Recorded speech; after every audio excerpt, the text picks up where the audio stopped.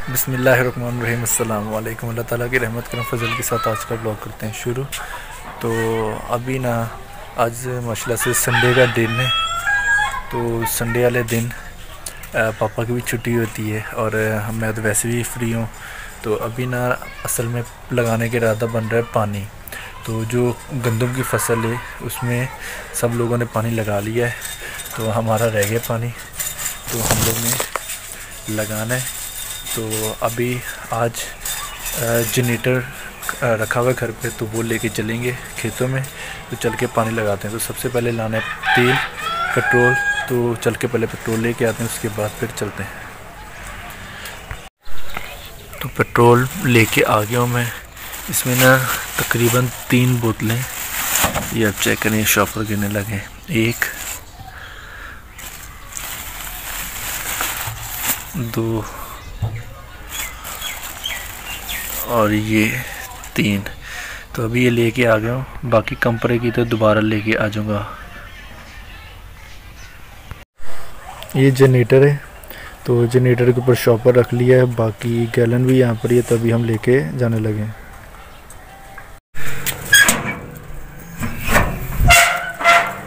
छत पे आया हूँ। तो एक तो चाहिए कई और दूसरे नंबर पे थोड़ा सा ना बाजरा डाल दें भाई, चूज़ों को जब छत पे आई हैं तो।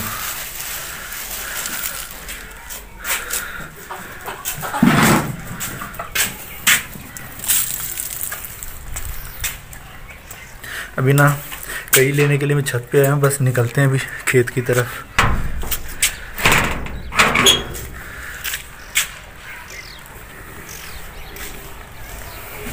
मैं गया था खाद लेने के लिए थोड़ी सी तो खाद शाद भी फेंकनी है। बाकी छोटे मोटे इतने ज़्यादा काम होते हैं ना, कि बस फेरे लगे रहते हैं, यानी कि जिस दिन इस तरह का कोई काम हो जाए तो बहुत यानी कि ना बंदा थक जाता है तो कपड़े भी फट जाते हैं, गंदे हो जाते हैं। तो अभी मैं जा रहा हूँ खेत की तरफ़, खाद शाद ला के दे आया हूँ। बाकी जनरेटर भी फिट कर लिया तो चला दिए, पापा वहाँ पर बैठे हुए तो चल के मैं आपको दिखाता हूँ अभी। और माशाल्लाह से आज ना मौसम भी फुल ज़बरदस्त है, ऐसी ज़बरदस्त धूप लगी हुई ना। कल पता ही क्या हुआ, कल इतनी ज़्यादा हवा चल रही थी ना, और यानी कि मौसम ठंडा हो गया था। तो अभी मैं जा रहा हूँ, अभी मैं ला के खाद शाद दे के आया बाकी बाइक में चाचू की खरी करने चला गया था हवेली में। अभी आप ये चेक करें, फ़सल ना फुल खुश्क खुश्क हो गई है। यानी कि बिल्कुल सूख गई है। अब तो चेक करें, दरारें आ रही हैं। यानी कि जब दरारें आएँ तो समझ जाएँ कि पहली जो है, फ़सल जो है, खुश्क हो गई है। तो इस साइड पानी भी लगाया हुआ है। अभी आस्ता आस्ता ही ना पानी आएगा। तो जैसी पानी आता है तो फिर वो दूसरी साइड पे लगा लेंगे पानी।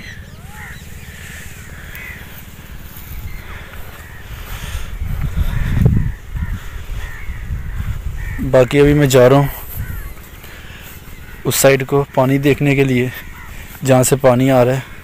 तो आपको बकायदा दिखाते हैं। बनने के ऊपर ना चलना मुश्किल होता है वैसे। अभी ये चेक करें, यहाँ तक पानी आ गया तो इस पोर्शन में ना थोड़ा बहुत रह गया है। तो पीछे से सारा लग गया पानी।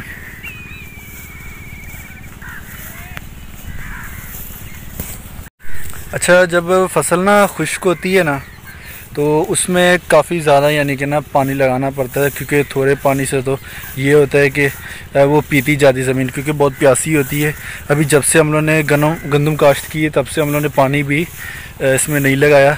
वैसे भी तकरीबन एक ही पानी लगता है। पहला जो पानी होता है, वो बारिश का होता है, बाकी जो पानी दूसरा पानी लगता है, वो अपना, लाजमी ना जनरेटर से या मोटर से या ट्यूबवेल यानी इस तरह की कोई भी चीज़ होती है जिससे पानी लगाना पड़ता है।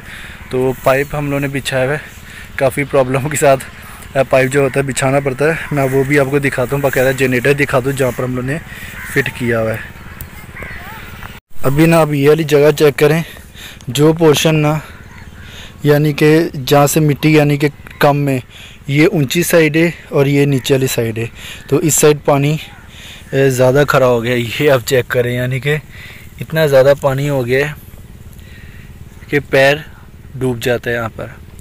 और बाकी वो ऊँची वाली साइड है तो उधर पानी अब तक नहीं चढ़ा आस्ता आस्ता वहाँ पर भी चढ़ जाएगा। ये सारा पीच गया है, यानी कि पानी लगने का हम पीचना कहते हैं।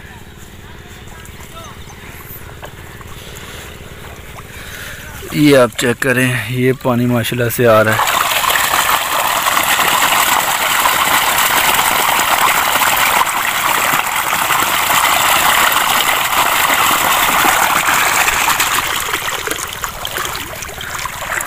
पानी में मज़ा बहुत आता है। सर्दियों में गर्म पानी निकलता है और गर्मियों में ठंडा पानी।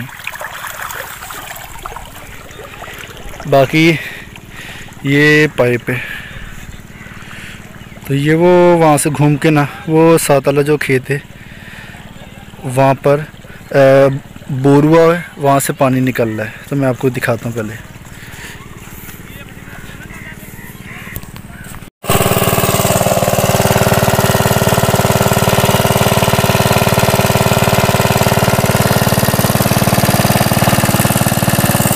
ये बोर है, इससे इस पाइप के अंदर से पानी आ रहा है। और ये जनरेटर रखा हुआ है।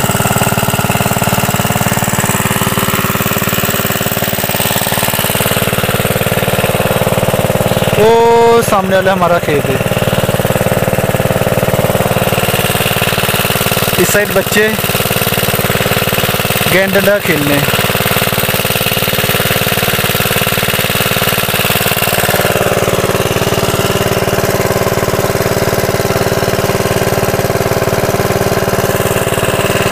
अभी ना हमने तकरीबन ऑलमोस्ट 9:45 पे पौने दस बजे जनरेटर चलाया है। तो अभी मुझे उम्मीद है कम से कम भी ना कोई चार पाँच बज जाने, क्योंकि फ़सल में काफ़ी प्यासी है तो उससे पानी ज़्यादा लगेगा और उसने पीना भी कुछ ज़्यादा ही है। तो अभी मैं बैठा हुआ पापा घर पे चले गए तो थोड़ी देर इसका वेट करेंगे। लगाएँगे, फिर दूसरी साइड में लगाएँगे और ऐसे करते करते हमारा पानी लग जाएगा। और धूप आज कमाल की लगी है मुझे पसीना हल्का हल्का ना आप चेक करें। आ रहा है। तो बाकी आज संडे का दिन है तो संडे वाले दिन ये होता है ना, बच्चे जो होते हैं वो छुट्टी वाला दिन होता है, माशाल्लाह फारिग होते हैं। तो आज वो गेंद डंडा खेलने में आपको वो भी दिखाया था, पहले भी दोबारा दिखाता हूँ कि अभी वो ना खेल रहे हैं। वो आप चेक करें। बच्चे इस टाइम ना खेलने में मशरूफ मसरूफ़ हैं।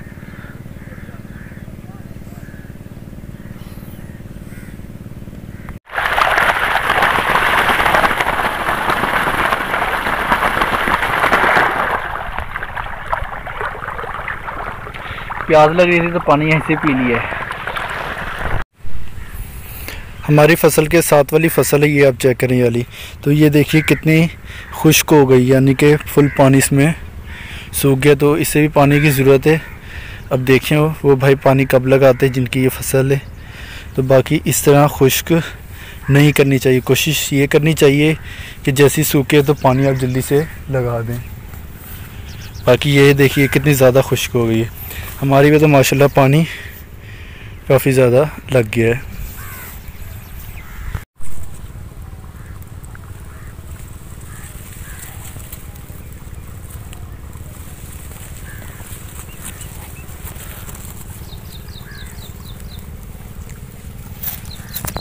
पहले ना हमारा इरादा बन रहा था कि ये नहर है ना, इधर से पानी लगाएँगे।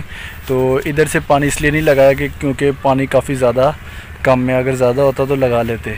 तो इसलिए हम लोगों ने फिर बोर के ऊपर जनरेटर रखकर वहाँ से पानी लगाया है। पहले ना हमारा इरादा बन रहा था कि जहाँ पर बोर हुआ हुआ है तो वहाँ पर हम लोग लगाने लगे थे मोटर। तो मोटर का ये होना था कि घर पे पड़ी हुई चाचू की भी पड़ी हुई मोटर तो वो लानी थी ला के लगा देते। और तार वैसे भी ना उस जगह से लेकर वो पीछे जहाँ पे दरख्त लगे हैं उधर हमारी हवेली है। तो हवेली पे आ, लाइट भी है तो वहाँ तक तार भी गई हुई है तो हम लोगों ने सोचा कि वहाँ से अपनी लाइट ले लेंगे और मोटर लगाएँगे। उससे ये होगा कि जल्दी से हमारी जगह जो है, वो पीच जाएगी, यानी कि पानी लग जाएगा। तो फिर हम लोगों ने सोचा कि इतनी ज़्यादा, यानी कि टेंशन होगी और आराम से मोटर भी लानी पड़ेगी, तार का भी बंदोबस्त करना पड़ेगा, सारा कुछ करना पड़ेगा। तो जिसकी वजह से फिर हम लोगों ने आखिरकार जनरेटर का बंदोबस्त किया, जनरेटर हमारे घर पर भरा हुआ था। तो वो आए, वो लगा दिए। तो माशाल्लाह से चल रहा है। अभी एक साइड पे लगा है, दूसरी साइड पे भी इंशाल्लाह लग जाएगा। तो उम्मीद है कुछ चार पाँच बज जाएँगे। तो यही था छोटा सा ब्लॉग अगर अच्छा लगे तो लाइक करें सब्सक्राइब करें, साथ ही बेल आइकन को प्रेस करें कि आने वाली कोई भी न्यू वीडियो सबसे पहले मिला ताखिर आप तक पहुँच सके। तो इसी ब्लॉग को ना यहाँ पर एंड कर दे तो दुआ में याद रखिएगा, आपका बहुत सारा प्यार इन अगले ब्लॉग में हाजिर होंगे। जब तक के लिए इजाज़त दीजिए। अल्लाह हाफिज़।